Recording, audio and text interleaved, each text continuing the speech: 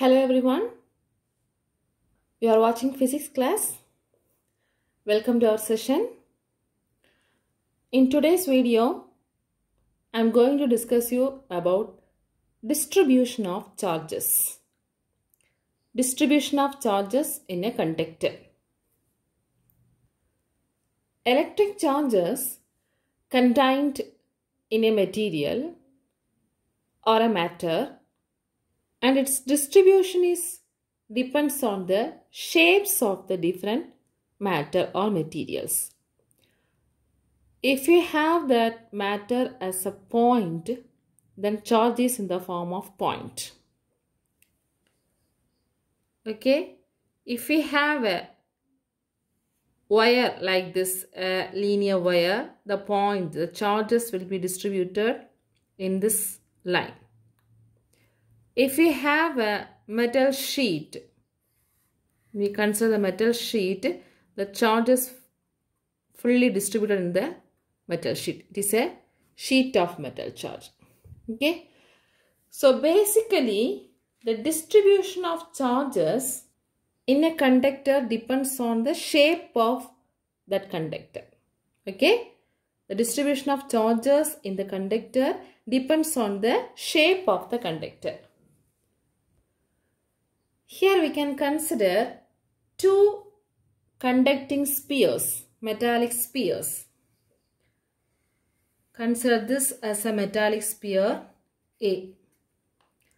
It has the radius R1. Another metallic sphere B.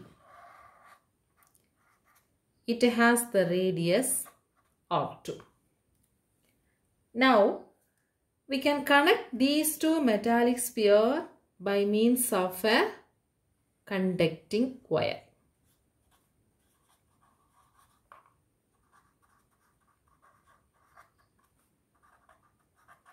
This is a connecting wire. It is a conductor. We know that if any metal or any conductor considered, the charges will be distributed on its surface. On its surface. Inside the conductor, it is zero. So the, at the surface, the charges will be distributed. Okay. Here we can make sure that the distance between these two spheres much greater than the radius.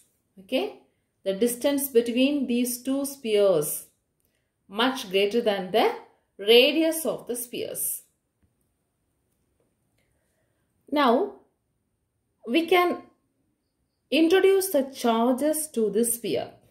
Let us say Q.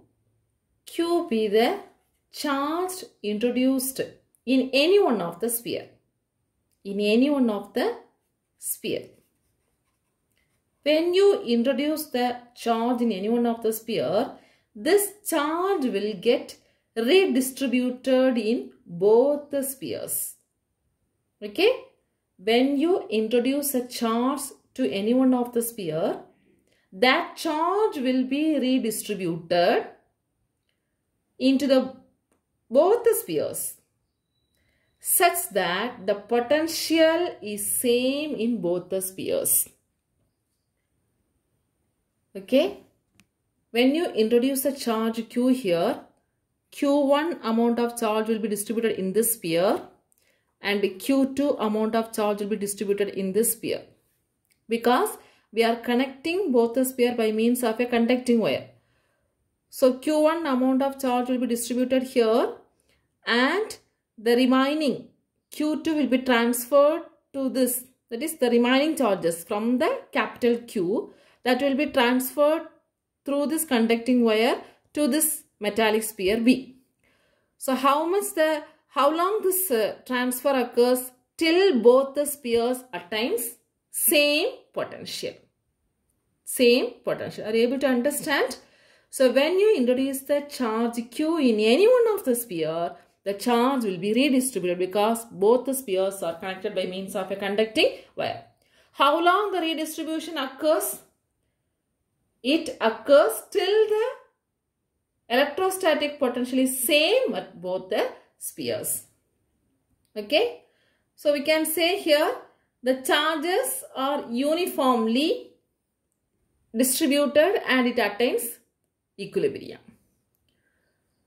Now we can consider Q1 be the charge on the surface of the sphere A, Q2 be the charge on the surface of the sphere B.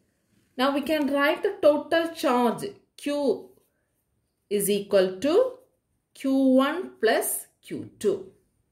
Q1 plus Q2. So already I said the charges are, suppose if you are considering the positive charges means the charges are distributed on the surface of the sphere. There is no net charge inside the conductor. Okay. And here we have to understand one more point. Suppose the potential of the sphere A is greater than the potential of the sphere B, then the charge will flow from, the positive charges will flow from A to B. Suppose if the potential VB, potential at the sphere B is greater than A, then the charges will transfer from B to A. This will occur until both the spheres attains same potential. We know that always the flow is from higher potential to the lower potential. Even it is a water or charges, the flow is from always higher potential to the greater potential. So based on the potential on the sphere, the charges will be transferred. Are you able to follow my class? So I said the positive charges will be moving from A to B when potential of gate A is greater than potential of B. So that time electric charges may move in the opposite direction. Uh, electrons, electrons may move in the opposite direction. When the potential of B is greater than VA, the positive charges will move from B to A. That time the electron will move from A to B. That also you have to keep it in mind. Now let us write the potential value. Electrostatic potential at the surface of the sphere A. Okay. Electrostatic potential. At the surface of the sphere A is given by what's the formula for potential? You may have learned in the previous classes V is equal to Q by 4 pi epsilon 0 R. Isn't it? So here the charge is considered as Q1. So Q1 divided by 4 pi epsilon 0 R1. Say equation 1. Similarly, we can write the electrostatic potential at B.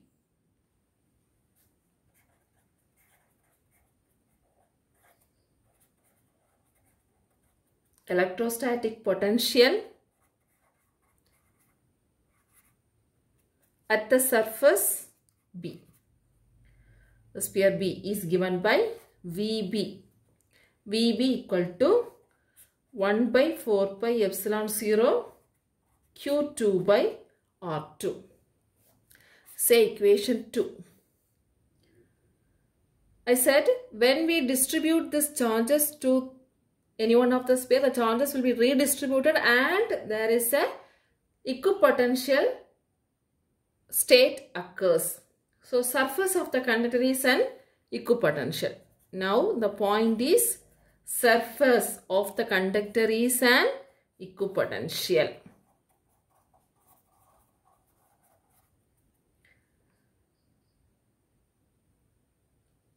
Because of connecting wire, we can say the surface of both the spheres are together to form a equipotential surface.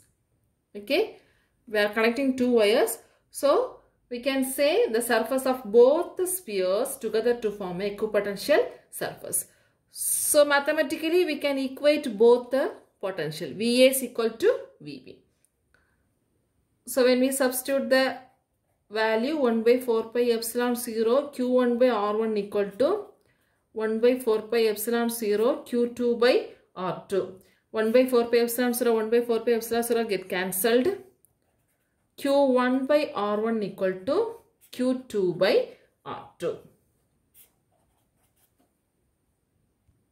Now we can discuss this term in form of charge density. You may have learnt about charge density. Charge density sig uh, symbol is sigma. What is meant by charge density? Charge per area.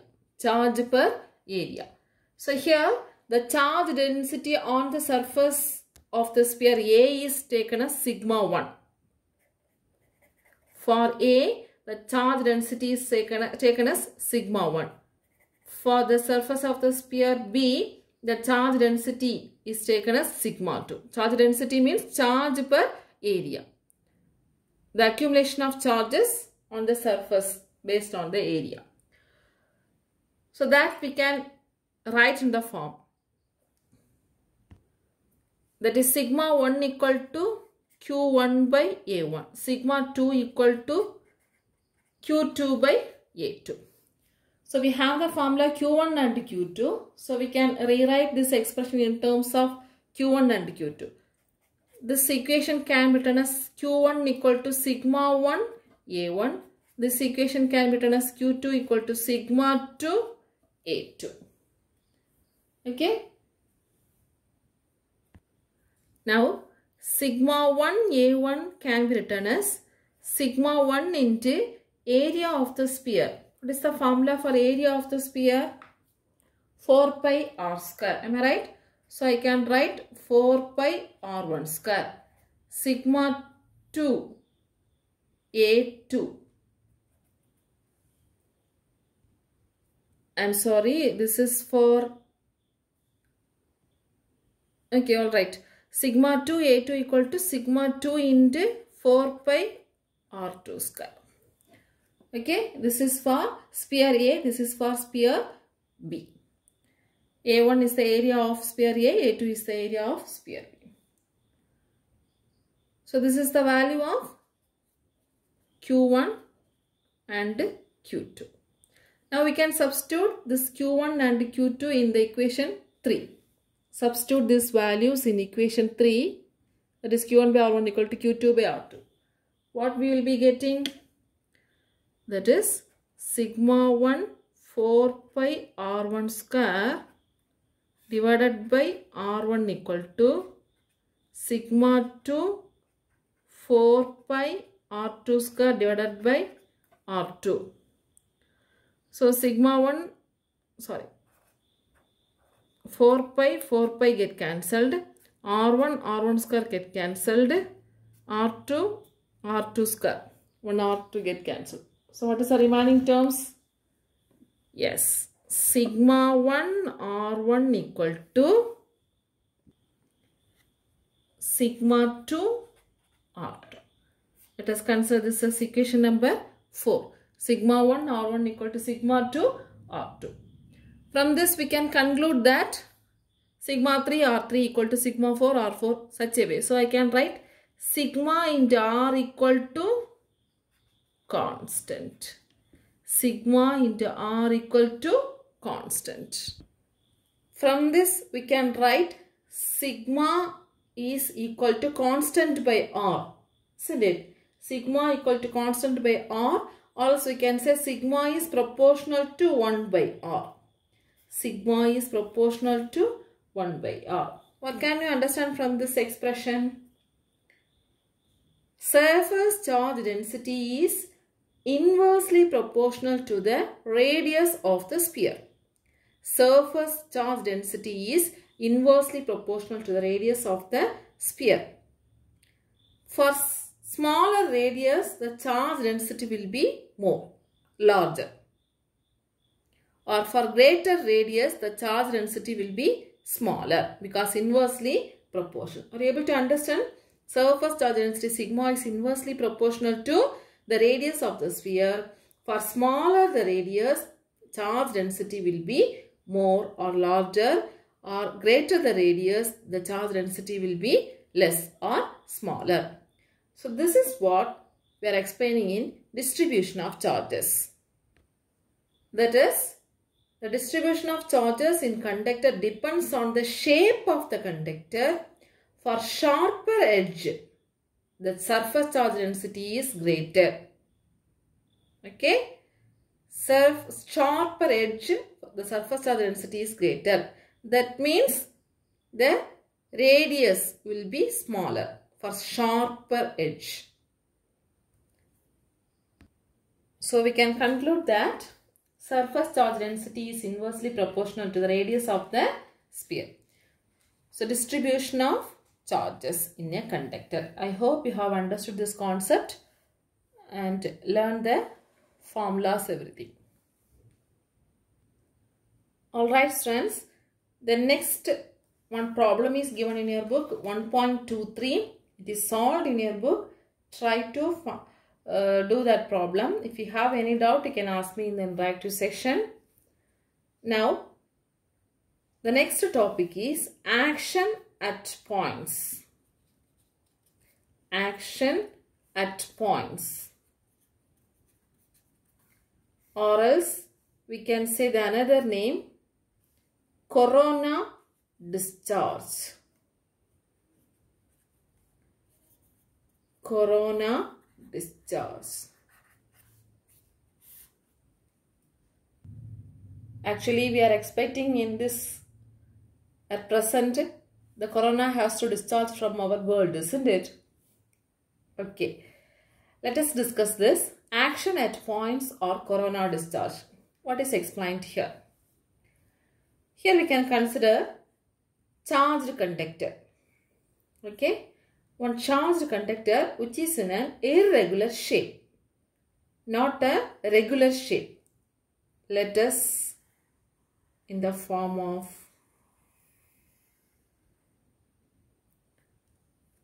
like this. Okay. If it is a charged conductor, we know that it consists of positive charge as well as the negative charges. Isn't it? Positive charge and negative charges. Negative charges in the sense, we will be saying it as free electrons. And when we associate this concept with the previous concept, previously we have learned the surface charge density is inversely proportional to the inversely proportional to the radius of the sphere isn't it? So here also we can have that same point. If you consider this kind of shape this side has the smaller radius of curvature isn't it? And this side has the larger radius of curvature. So as per the previous concept if there is a smaller radius of curvature, the accumulation of charge is more. The charge density will be more. If the radius is very small, the charge density will be more. So we can say here more amount of positive charges will be accumulated. And here the charges accumulation is less in this side because here the radius of curvature is greater. The radius of curvature is larger. So the charge density is less. The charge accumulation is less. Here more accumulation of charges. Now we can assure that the electric field around this conductor in this side the electric field is very high isn't it, than this side because it has more accumulation of charge. So the electric field near the edge is very high and it ionizes the surrounding air molecules. Here full of air molecules, isn't it? Outside, full of air molecules. So because of high electric field, it tries to ionize the air molecules. What is meant by ionization? It just to separate the molecules into positive and negative ions. Positive and negative ions. So the process of ionization takes place.